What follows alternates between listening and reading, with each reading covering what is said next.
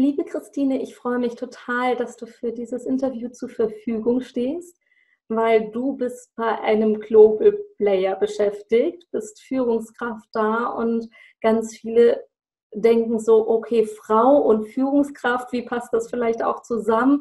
Mhm. Äh, Gerade auch in der Reihe mit den ähm, zum Thema Führung haben wir viele Männer nur im Interview mhm. gehabt und ich bin so froh, dass wir mit dir eine Frau quasi auch im Interview haben, die vielleicht auch Mut mhm. machen kann, Wege aufzeigen kann, wie es denn funktioniert, als Frau auch in einem großen Unternehmen ähm, ja, Mitarbeiter zu mhm. führen und auch eine verantwortungsvolle Position zu übernehmen. Mhm. Und vielleicht magst du dich gerade erst selber für die äh, Studierenden vorstellen. Wer bist du und was machst du gerade?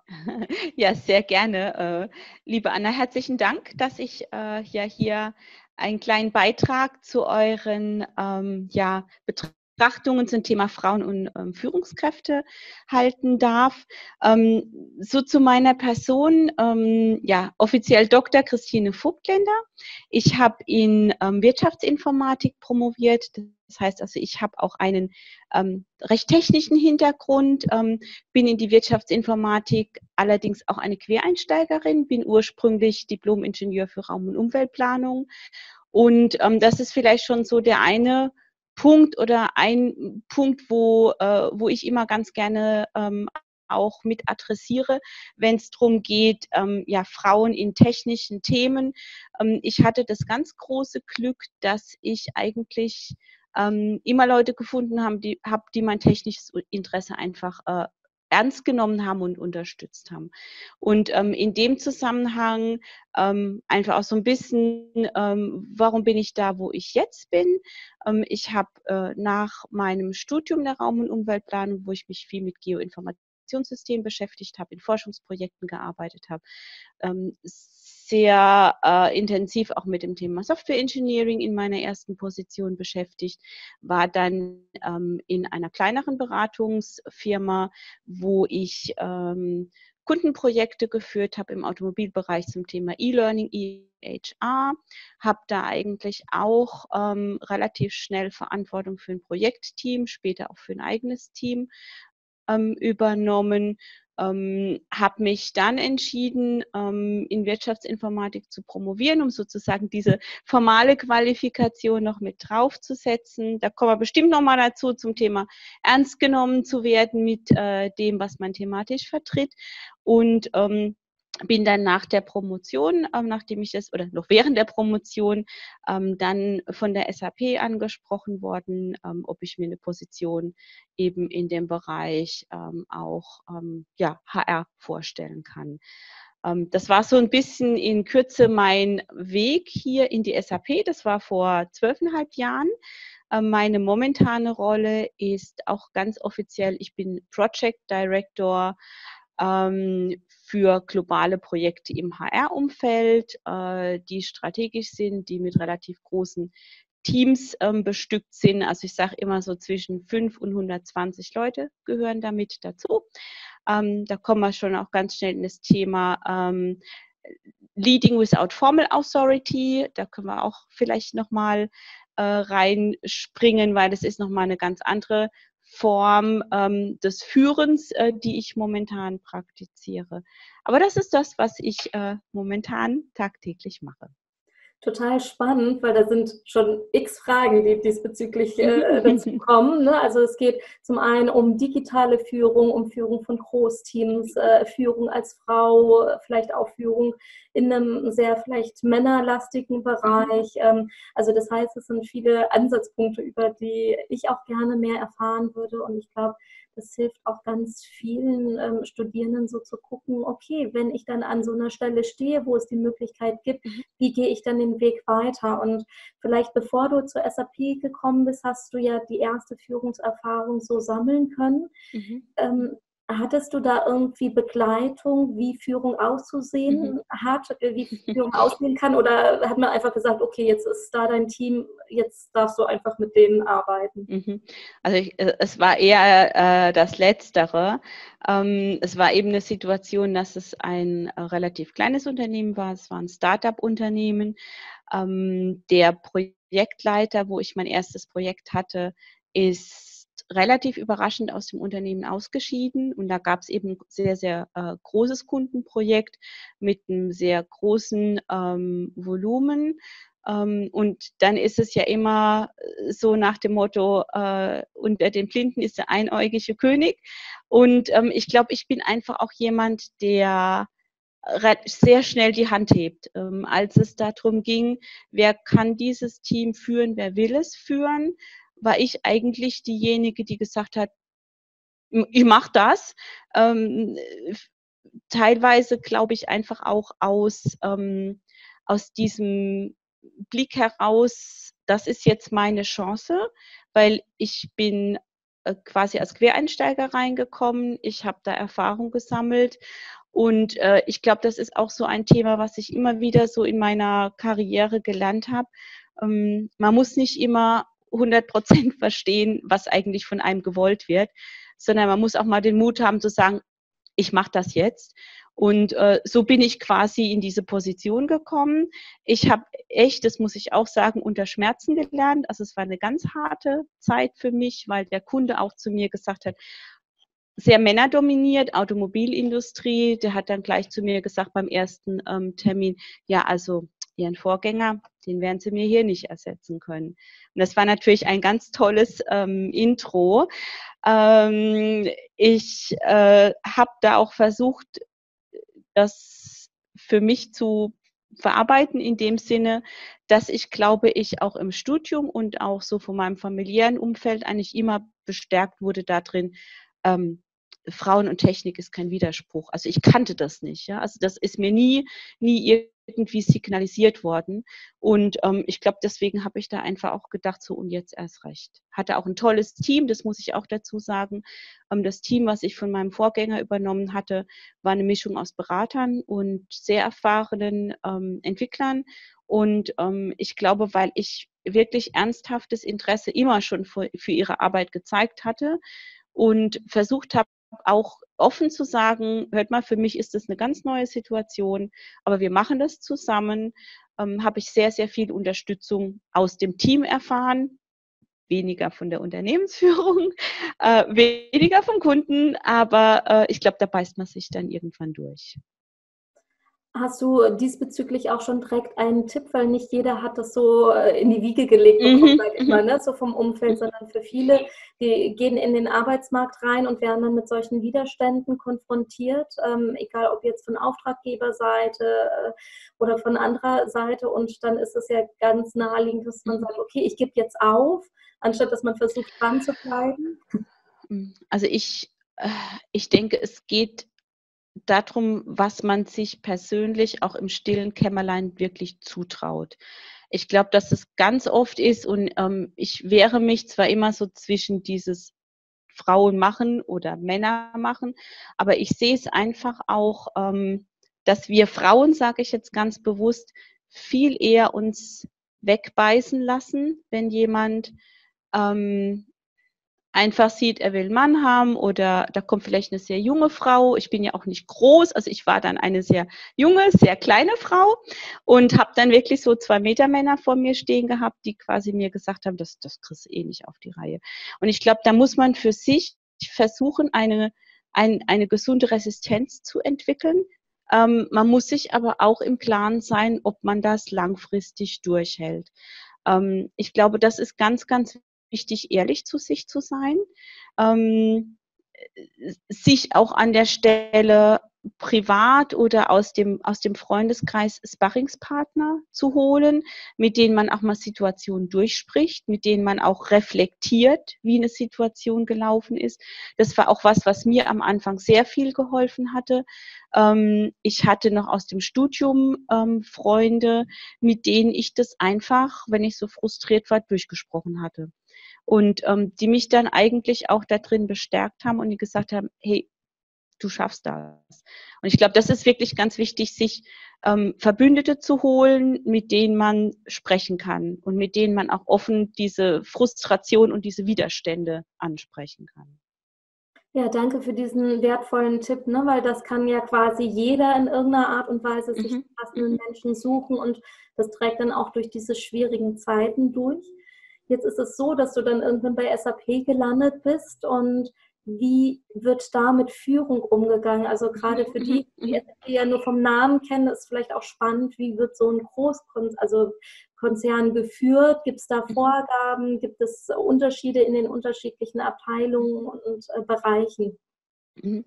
Ähm, also ich muss insgesamt sagen, dass ich das Unternehmensumfeld hier gerade aus ähm, äh, Diversitätsgründen und gerade auch was ein Umfeld angeht, was Frauen mit Familie, also ich habe selbst zwei Kinder, ähm, äh, es wirklich erleichtert, in Führungspositionen oder ich sage jetzt auch mal in Verantwort verantwortungsvolle Aufgaben zu kommen. Ich glaube, da, das muss man einfach so ein bisschen auch als, als Hintergrund sehen. Äh, ja, es ist ein globales Unternehmen, aber es wird unter dieser Maßgabe geführt, ähm, was ich jetzt hier auch nicht nur als, als Worthülse sehe, so bring everything you, you are, become everything you want. Ähm, also es wird einem ganz viel ermöglicht, sei es Homeoffice, sei es ähm, Scattered Working Hours, das heißt also, ich arbeite teilweise sehr viel am frühen Morgen bis frühen Nachmittag, dann mache ich Pause, arbeite sehr viel abends. Das passt halt für mich vom Rhythmus her. Führungspositionen werden auch als Co-Leadership ausgeschrieben. Das ist auch zum Beispiel was, was äh, in ähm, eigentlich durch den Konzern geht, vielleicht in manchen Board Areas mehr, in manchen weniger, ähm, dass man sich auch Führungsaufgaben teilt. Also ich kenne selbst zwei äh, Damen, ähm, die sich eine sehr hohe Führungsposition äh, teilen.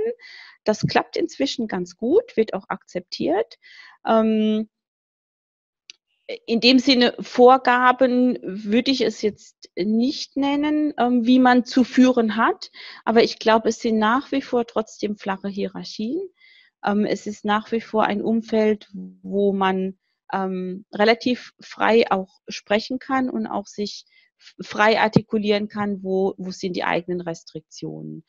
Ähm, in Zeitverfügbarkeit oder die Kinder sind auch mal krank oder, oder, oder. Ähm, und ich glaube, wenn dieser Respekt dem nicht gegenübergebracht ist, hat man es als Frau extrem schwer. Ähm, weil dann werden Meetings dann ähm, durchgeführt, wo man garantiert nicht kann, dann wird man von Informationen ausgeschlossen. Und das ist was, ähm, was ich hier nicht erlebe. Wie gesagt, also ich kann halt nur für meinen Bereich sprechen, für meine Erfahrung, ähm, aber diese Fairness halte ich für elementar, um ich jetzt mal auch als, als Frau diesen Spagat ähm, auch hinzubekommen. Ähm, vielleicht so als letzter Punkt zu deiner Frage, ähm, ob es da Führungsvorgaben gibt an der Stelle.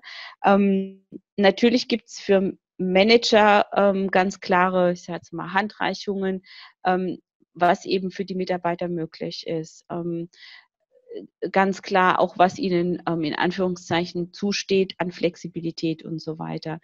Ähm, aber ich glaube einfach, weil es von Unternehmensführung und auch von der Personalleitung so massiv auch ähm, propagiert wird und so massiv gepusht wird und gefördert wird. Es gibt auch Karriereveranstaltungen für Frauen innerhalb des Unternehmens, gibt es äh, Programme, an einem habe ich selber auch teilgenommen, was sich nur an weibliche Führungskräfte gewandt hat äh, und auch viele sich dadurch weiterentwickeln konnten. Also das ist sozusagen als Schlusspunkt ähm, von meiner Seite zu der, der Frage.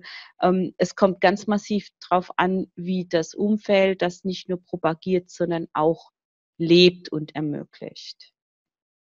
Jetzt hast du ja ein Team, was auch global agiert. Mhm. Wie funktioniert es da? Weil bekannt ist ja, dass bestimmte Länder andere Wertvorstellungen mhm. haben, andere mhm. Arbeitsweisen mhm. haben. Ähm, wie gehst du denn mit solchen Dingen beispielsweise um? Mhm. Oder wurdest du auch spezifisch geschult für verschiedene Länder, was es zu beachten gibt? Mhm. Äh, also ich muss ganz ehrlich sagen, Schulungen für be bestimmte Länder habe ich die ganze Zeit nie gemacht ich glaube, es geht ganz viel darum, dass man jedem den Respekt entgegenbringt, den man auch selber haben möchte. Also wenn ich beispielsweise mit Kollegen aus ähm, Singapur zusammenarbeite, dann bin ich sehr vorsichtig, was so in, in dem Plenum mit direkter Kritik beispielsweise angeht. Also so diese ganz offensichtlichen Sachen. Ähm, ich versuche dann auch ähm, sehr viel mit Kollegen erstmal einzeln zu sprechen, auch aus anderen Ländern, ähm, um einfach diese, diese kulturellen Besonderheiten, wo noch die persönlichen Besonderheiten und Präferenzen dazukommen, ähm, zu verstehen. Ähm, klar gibt's interkulturelle Schulungen und klar gibt's Schulungen zum Thema Diversität. Ähm, ich glaube aber auch wiederum, dass wir als Unternehmen so eine Kultur des Miteinanderumgehens haben. Das heißt also eben auch nochmal auf den Punkt des Respekts zu kommen, dass ich beispielsweise auch, wenn ich jemand ähm, aus dem arabischen Raum hatte. Das hatte ich auch in einem meiner vorherigen Projekte. Ähm, da ging es darum, dass man ein Visual, also ein, ein, ein Bild für das Marketing auswählt. Und da waren halt zufällig Frauen, also unverschleierte Frauen mit drauf. Ähm, da kam die Kollegin und hat auch gesagt, also das kann ich, das kann ich einfach nicht nirgends irgendwo anbringen oder ähm, so. Und dann überlegt man eben auch gemeinsam, wie, wie schafft man im globalen Projekt eine lokale Lösung. Ähm, manchmal braucht man ein bisschen mehr Zeit, gerade wenn man viele Nationen auch hat. Ähm, das funktioniert aber, glaube ich, ganz gut, weil wir alle sehr darum bemüht sind, zu verstehen, wie der andere ja von seinen Werten her ist. Wie gesagt, es dauert manchmal, aber mein Punkt ist eigentlich, dass ich ähm, bei äh, Themen, wo ich denke, das kriselt so ein bisschen oder ich, ich kriege den Bezug zu demjenigen nicht, dass ich wirklich ins persönliche Gespräch gehe. Da, bin, äh, da sind wir auch schon bei diesem Thema Krisenmanagement. Mhm, mhm. Hast, welche Tools oder was gibt es jetzt auch vielleicht vorbereiten ne, für Studierende, die sagen, okay, ja, Führungskraft, das will, will ich auch mhm. werden. Und ich habe aber Sorge, weil ich gar nicht weiß, was ich mache, wenn jetzt mal eine Krise kommt. Wie mhm. gehe ich damit um? Hast du da irgendwelche äh, Tools, was man da konkret tun kann? Ähm, also ich, was mir geholfen hat, aber das war quasi vor meiner SAP-Zeit schon, äh, ich habe mich ganz viel mit dem Thema so interkulturelles Management oder interkulturelle Führung ähm, beschäftigt, weil mich das einfach auch interessiert hatte. Ähm, wir hatten im Studium auch ein sehr internationales Umfeld, obwohl das eigentlich ne, so Raum- und Umweltplanung, ne, das, das ist ja ein sehr, wie soll ich sagen, hands-on teilweise Studium. Also wie gesagt, wir hatten ganz viele, ähm, auch verschiedene Studierenden aus verschiedenen Ländern. Und da habe ich einfach mal angefangen, mich damit zu beschäftigen, ähm, was heißt es denn, wenn ich mit jemandem zusammenarbeite, der nicht so sozialisiert ist, wie ich es bin? Ähm, und das war eigentlich wirklich am Anfang Theorie. Und da gibt es inzwischen, glaube ich, ziemlich gute Literatur dazu. Ähm, was ich interessant fand, weil ich viele koreanische Freunde hatte, wie, wie du ja auch weißt. Äh, ich hatte ein paar Bücher über Doing Business in Asia. Mhm. Ähm, weil das ganz anders von den, von den Verhältnissen waren. Und das hat mir einfach auch teilweise geholfen, meine Kommilitonen in Projektarbeiten und so weiter ähm, anders auch zu verstehen. Und ich glaube, als Studierender, wenn man ähm, die Chance hat, in ähm, kleinen Projekten teilzunehmen, sei es als Hiwi, sei es in irgendwelchen studentischen ähm, äh, Verbünden, ähm, sich irgendwie in der Unternehmensberatung beispielsweise engagiert, macht es immer Sinn, äh, sich dann doch auch mal ein bisschen mit der Theorie zu beschäftigen, weil das lässt einen nicht ganz so unvorhergesehen in die Praxis kommen. Ähm, was, was ich auch noch äh, sehr hilfreich finde an der Stelle, ist auch nochmal die eigene, ähm, die eigenen Werte zu reflektieren. Also wie möchte ich geführt werden? Also möchte ich, dass jemand sehr transparent mit mir ist? Ähm, brauche ich viel Freiheiten? Brauche ich genaue Vorgaben? Also auch nochmal über sich selber klar zu werden. Äh, nicht nur, wie führe ich oder weil ne, so der erste Schritt geht ja meistens, wie werde ich geführt. Ähm, aber es macht immer Sinn, sich auch darüber Gedanken zu machen, was möchte ich denn? Weil das hilft mir dann auch zu reflektieren, ähm, wenn ich sage, ich möchte wertschätzend geführt werden, ich möchte sehr viel Freiheiten haben, ich möchte Ziele ganz klar kommuniziert bekommen, äh, dass man das dann vielleicht in seine erste Führungsaufgabe, sei es im Projekt, ähm, sei es in der Gruppenarbeit, wirklich einfach mal beispielhaft überträgt und äh, mal schaut, wie man damit zurechtkommt. Könntest du das für dich sagen, wie, also vielleicht auch anhand mhm. einer Führungstheorie, wie deine, dein Führungsstil ist, für den mhm. du dich entschieden hast? Ähm, also ich habe mich für einen kooperativen Führungsstil entschieden, weil ich der festen Überzeugung bin, dass ein Manager oder eine Führungskraft ähm, unter anderem auch dazu da ist, die, das Team und jeden Einzelnen äh, zu dem Punkt zu bringen, dass er at its best ist. Also das, das ist, glaube ich, auch ein ganz wichtiger Punkt und eine ganz wichtige Philosophie, ähm, warum ich mich für dieses, mehr dieses kooperative Führen entschieden habe. Ähm, ich sehe mich oft auch als Coach und als Mentor für ähm, die Mitarbeiter im Team. Ähm, Im Zweifelsfall sind sie die Experten und ich bin dafür zuständig, dass ich ihnen ein Umfeld schaffe, dass sie diese Fähigkeiten und Fertigkeiten auch tatsächlich zutage bringen. Ähm, funktioniert in so einem Umfeld, wie ich mich bewege, erstaunlich gut. Ähm, ich sehe mich aber auch äh, in einer Führungsrolle, die ähm, sehr stark auch an Schnittstellen ist. Also ich glaube, das ist auch was, wo, ähm, wo du eigentlich in jeder Führungstheorie findest, du bist quasi an der Schnittstelle, ähm, bekommst sowohl Druck von unten vom Team als auch Druck von oben vom Upper Management.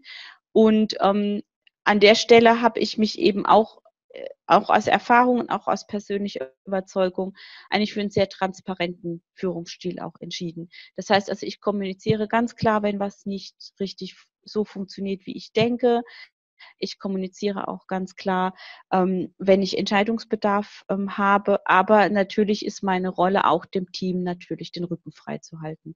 Und wie gesagt, also das, ähm, deswegen tue ich mir persönlich, das vielleicht so als kleine Bemerkung, deswegen tue ich mir mit ähm, autoritären Führungsstilen oder stark hierarchischen Führungsstilen extrem schwer. Also das wäre kein Umfeld für mich.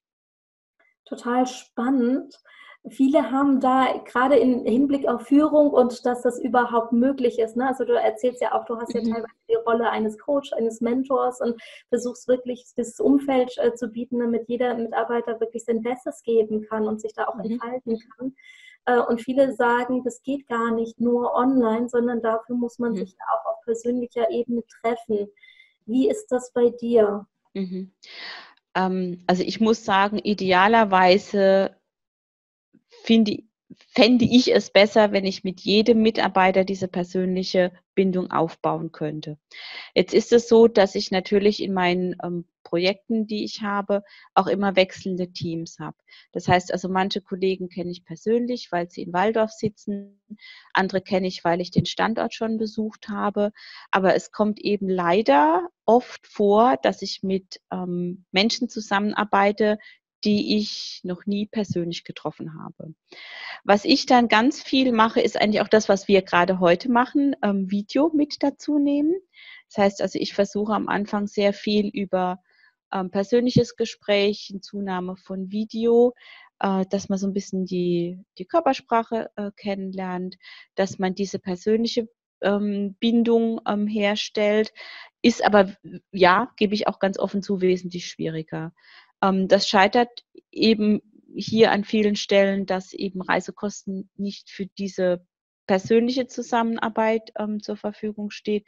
Es ist auch ganz oft so, dass sich Teams niemals selbst, also wirklich äh, on-site sehen, sondern dass äh, viele Teams, auch feste Teams, also die, die einem festen Manager zugeordnet sind, ähm, sich auch gar nicht treffen, sondern dass es auch virtuell geht. Ähm, ich glaube, dass da diese persönliche Komponente nach wie vor zu kurz kommt. Aber ähm, wir versuchen es ganz viel eben in diesem Online-Raum zu machen, indem wir ähnliche Tools übertragen. Das heißt also, ähm, wir machen beispielsweise auch in den Teams, so ist der Betriebsrat dann erlaubt, wenn wir in internationalen Teams sind, ähm, sowas wie den MBTI oder Persönlichkeitstests oder ähm, How to Work with Me. Also, dass man sich vorstellt, was ist mein Führungsstil oder was ist mein Arbeitsstil. Ähm, was wir auch viel versuchen, ist ähm, in diesem persönlichen Kennenlernen, äh, was ist mein privates Umfeld, wenn es jemand teilen möchte? Also was sind vielleicht ähm, ja, persönliche Leidenschaften? Also ich habe eine Kollegin, die ist der absolute Hundemensch. Und ähm, für die dreht sich privat alles um dieses Thema. Wenn ich das weiß, habe ich natürlich auch immer einen guten Einstieg. Ähm, ich habe andere Kollegen, die sind extrem Sportler. Auch gut zu wissen, weil es auf eine gewisse Art zu arbeiten schließt, auf eine gewisse Art von Persönlichkeit. Also es passiert ganz, ganz viel, äh, dass man wirklich in diese Kennenlernphase investiert, ähm, auch wenn es eben nicht dann ähm, in einem Raum ist. Das wäre direkt die nächste Frage gewesen. Also das heißt, ihr habt spezifisch Zeit dafür, dass ihr in eurem Team euch auch kennenlernen könnt, bevor direkt kommt hier das und das sind die Aufgaben, die zu erledigen sind. Also das heißt, es wird bewusst auch eingeplant. Ja, ja. Ähm, auch das kommt natürlich wieder auf den einzelnen Manager an, aber ähm, der Großteil macht es wirklich. Weil du brauchst diese Bindung und du brauchst diese, dieses, dieses persönliche Verhältnis, ähm, damit du dann auch in Zeiten, wo es wirklich um ein gewisses Tempo geht, auch Vertrauen darauf, dass der Einzelne mir was liefert, ähm, dass es einfach auch da ist. Ähm, da vielleicht noch eine Seitenbemerkung. Ähm, bei uns ist das Thema Trust, also Vertrauen, ein ähm, wichtiges Thema. Also da gibt es auch Schulungen dazu. Das ist auch in vielen Tra äh, Trainings zum Thema Leadership ein Element, nämlich wie schaffe ich es, auch im virtuellen Raum Vertrauen aufzubauen. Und das ist extrem schwierig, aber eben auch extrem wichtig, weil ne, wenn dieses Vertrauen eines Teams in den Manager oder in die anderen Teammitglieder nicht da ist, ähm, dann ist man nicht at its best. Das muss man einfach so deutlich sagen. Und manche, ähm, also Vertrauen und Kontrolle, mhm. das ist eigentlich konträr, mhm. aber geht manchmal mhm. einher ähm, ist es so, dass du jetzt sagst, okay, mit deinen Teams hast du jede Woche oder jeden Tag einmal so ein äh, bisschen Austausch, um zu wissen, was machen die gerade? Oder ist es okay, dass ihr euch für bestimmte Meilensteine verabredet und dann wieder Kontakt miteinander mhm. aufnehmt? Mhm. Ähm, also ich mache mit, äh, mit dem Team jede Woche einen Schurfix, weil ich das wichtig finde, dass jeder weiß, was der andere so tut dass man frühzeitig Probleme äh, identifiziert, weil da kommen wir wieder so ein bisschen zurück zu dem Thema interkulturelle Präferenzen und interkulturelle Kommunikation. Der eine adressiert früher, der andere später. Also von daher sorge ich schon dafür, dass wir einmal pro Woche sprechen. Ähm, zum, zu der Balance zwischen Vertrauen und Kontrolle.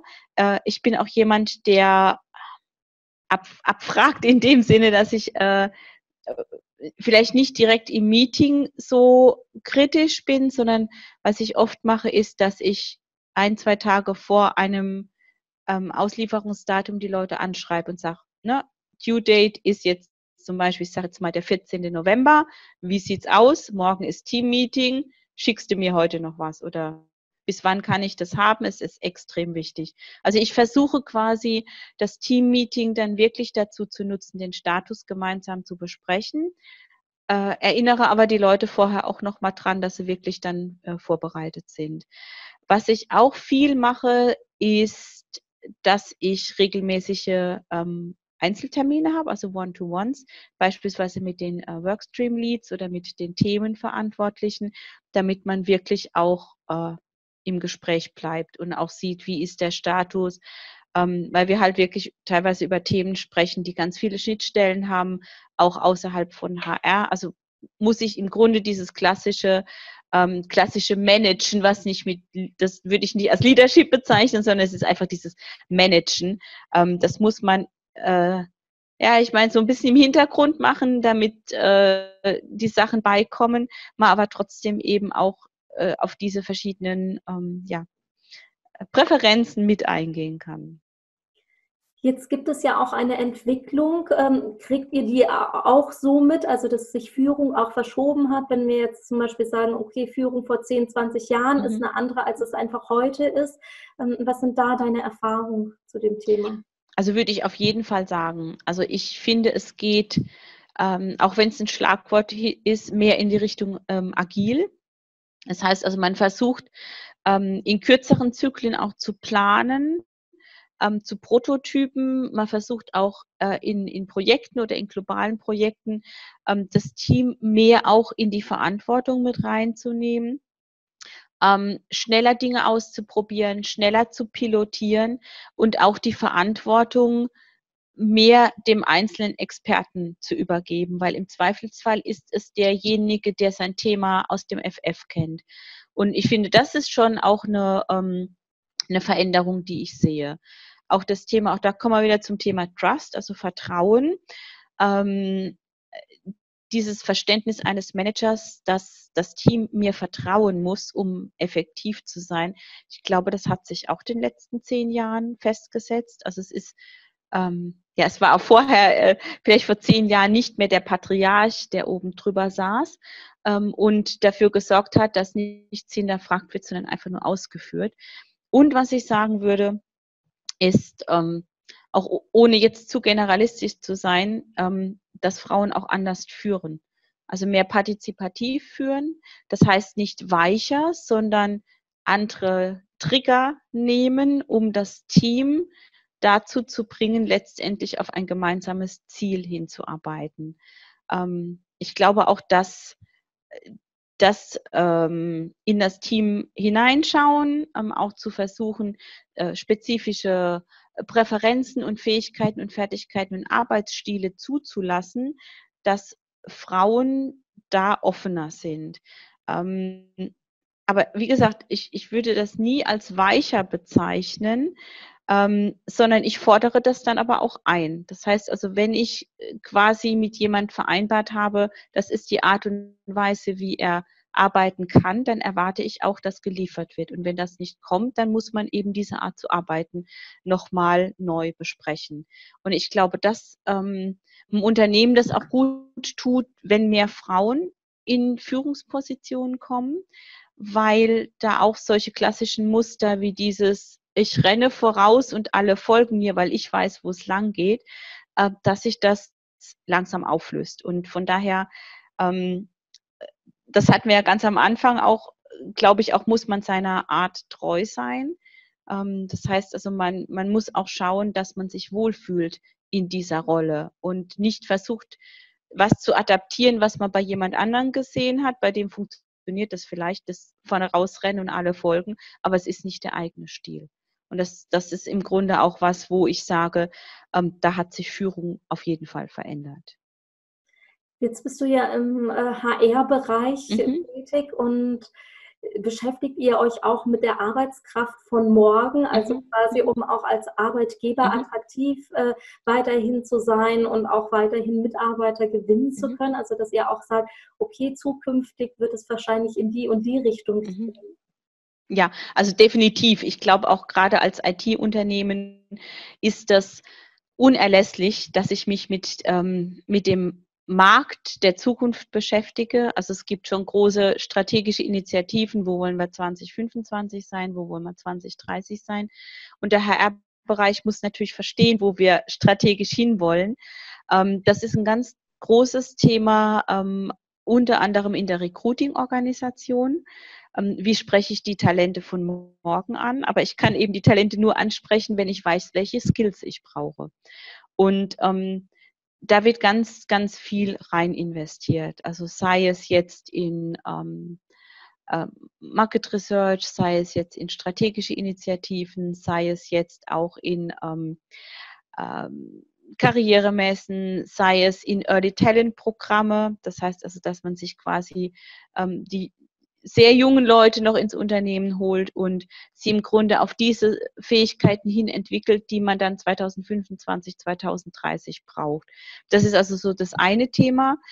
Ich würde das so unter das ganze Thema des Workforce Management zusammenfassen weil ähm, Workforce Management ist ja eben nicht nur darauf ausgerichtet, wie bringe ich äh, Leute ins Unternehmen, sondern ich habe ja noch einen ganz großen Stamm an Mitarbeitern, die vielleicht heute Aufgaben machen, die sie morgen eben nicht mehr machen, weil die Aufgaben nicht mehr gebraucht werden, weil es neue Technologien gibt, also beispielsweise von dieser On-Premise-Welt in die Cloud.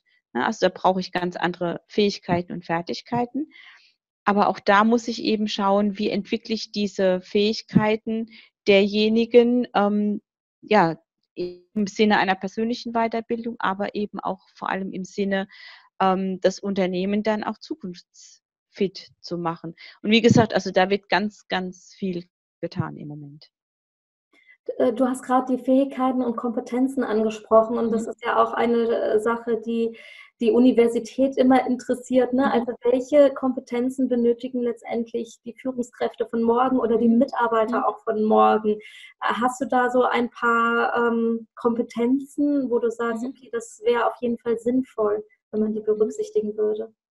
Ähm, also was ich äh, äh, klar, in einem IT-Unternehmen äh, ganz klar die Neugierde auf Technologien, die Neugierde ähm, dessen, was im, im digitalen Umfeld passiert. Also gerade auch dieses äh, Digital Transformation, sich im Klaren zu sein, die Technologie, die ich vielleicht jetzt im Studium gelernt habe, die ist schon in fünf Jahren ähm, völlig outdated.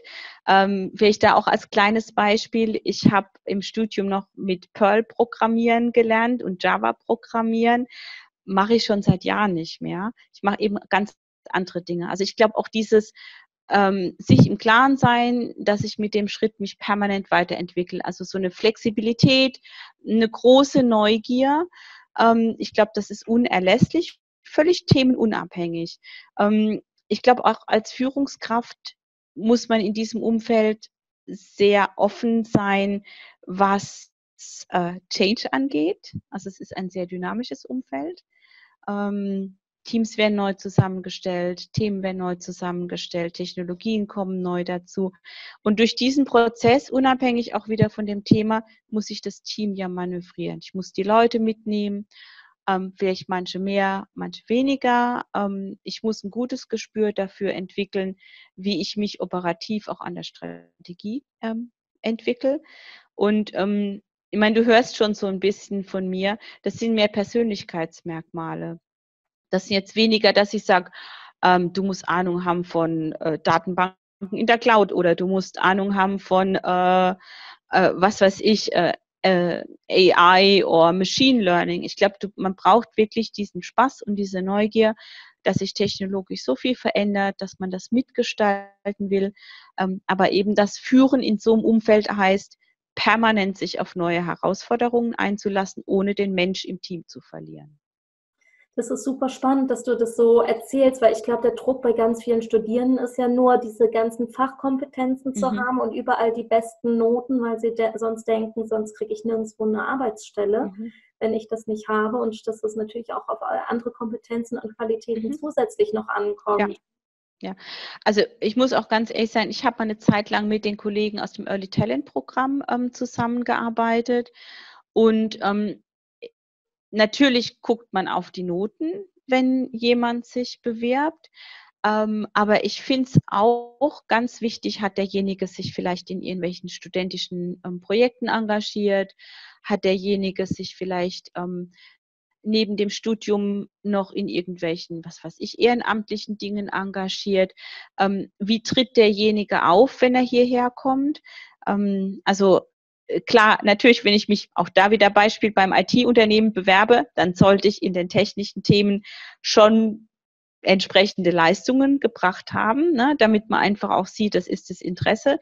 Ähm, ich gucke aber wirklich auch sehr stark auf diese Persönlichkeit und frage die Leute eben auch so ein bisschen, ähm, wie gehen sie mit äh, in der Gruppe um, also wenn es darum geht, in der Gruppe zu arbeiten? Sind es jetzt wirklich die absoluten Einzelkämpfer äh, oder die Narzissten, die sich für fachlich äh, super halten, aber wenn ich sie in ein Team, ein Team tue, ähm, funktioniert es hinten und vorne nicht, weil sie einfach nicht in der Lage sind, ähm, sich in ein Team so zu integrieren, dass sie entweder in so eine Führungsrolle wechseln oder in eine Expertenrolle wechseln, ähm, kann derjenige sich auf andere einstellen. Und das finde ich eben auch ganz wichtig, das sind vielleicht nicht unbedingt Fähigkeiten, die man im Studium in Papier mitbekommt.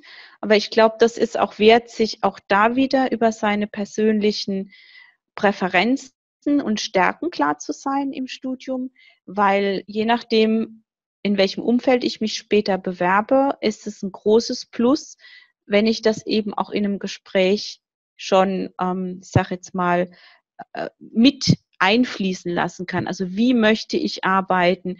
Was für ein Typ bin ich? Ähm, macht beispielsweise auch wiederum so ein kleiner Tipp, den ich mir selber äh, zu Herzen genommen habe. Ich habe einen ganz tollen, sehr erfahrenen Kollegen, der hat sich mal einen Einseiter ähm, erarbeitet, da steht drauf, how to work with me. Wie arbeitet ihr mit mir?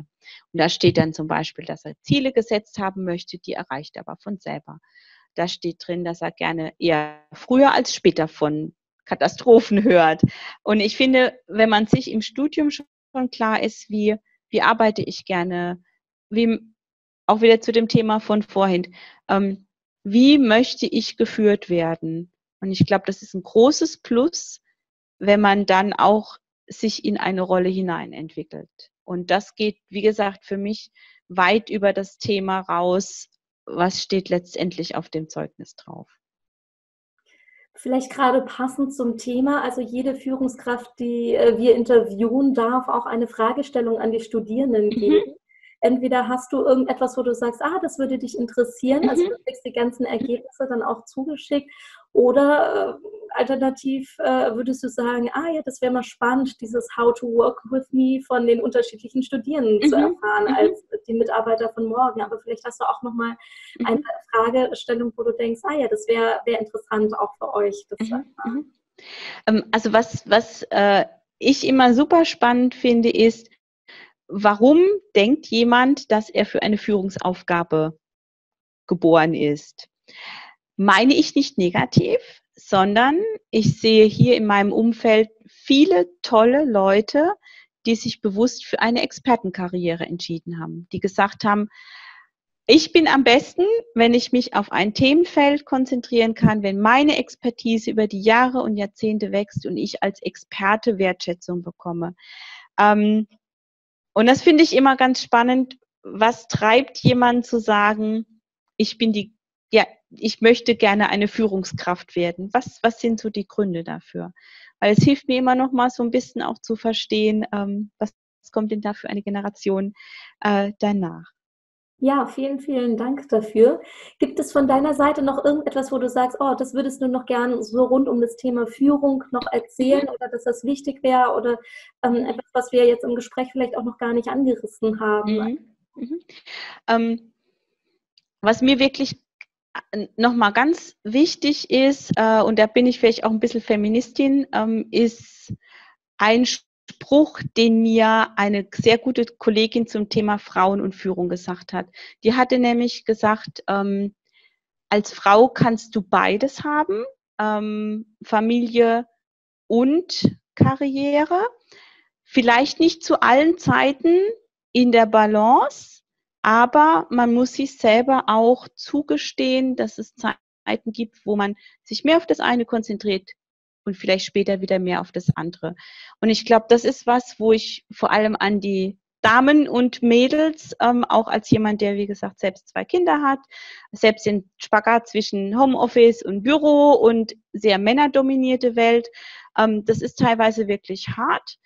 Ähm, aber ich glaube, es ist es wert, sich auf diesen Weg zu bewegen und sich selber aber an der einen oder anderen Stelle einfach auch mal zu sagen, okay, dann bin ich halt jetzt nur die 80 Prozent Mutter, dafür bin ich jetzt die 100 Prozent Managerin, mache jetzt meinen Weg und irgendwann pendelt sich wieder ähm, ab. Also ich glaube, äh, da darf man sich nicht vorscheuen. Ähm, man muss sich trotzdem immer auch vor Augen halten.